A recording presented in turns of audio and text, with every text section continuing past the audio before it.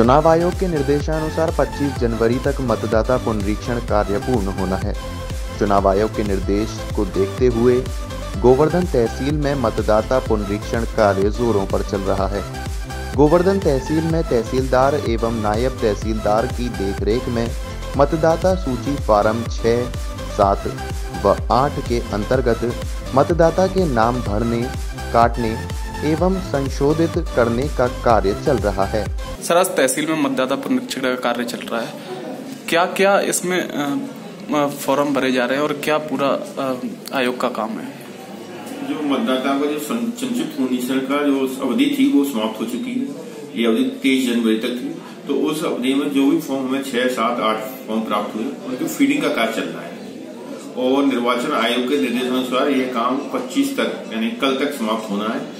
इसलिए हमने अधिक ऑपरेटरों को अधिक लैपटॉप साथ लगा दिया है ताकि ये काम जो है नियत अवधि में पूरा हो जाए।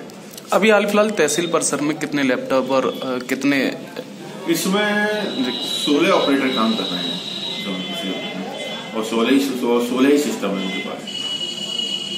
तो क्या लग रहा है कि 25 तक पूर्ण हाँ हो जाएगा तक हम लोग हमें विश्वास है कि पच्चीस कल शाम तक हम पूरा काम कर समाप्त कर देंगे।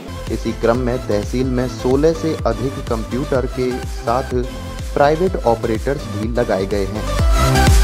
सात नंबर का फॉर्म का काम किया जा रहा है। वोटिंग हो रही है ना उनमें काम कर रहे हैं। तो इसमें क्या किया जा रहा है मतदाता के लिए? कैसे सेलेक्ट कर रहे हैं? क्या इसमें अभी कंप्यूटर में काम कर रहे हैं आप? कंप्यूटर में ये काम कर रहे हैं कि जो फॉर्म दिए जा रहे हैं उनको भर रहे हैं नेट द्वारा। इंफॉर्मेशन जो इसकी कागजों में है उनको इंक्लूड कर रहे हैं नेट पे।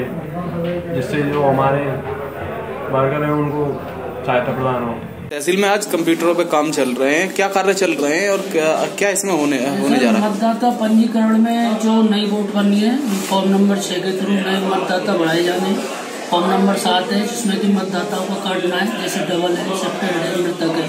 फॉर्म नंबर आठ है जिसमें कि करेक्शन है किसी की डेट ऑफ़ बर्थ वगैरह है उसमें करेक्शन होना है। और ये समस्त कार्य करने और इसकी जो लास्ट कब- कब तक?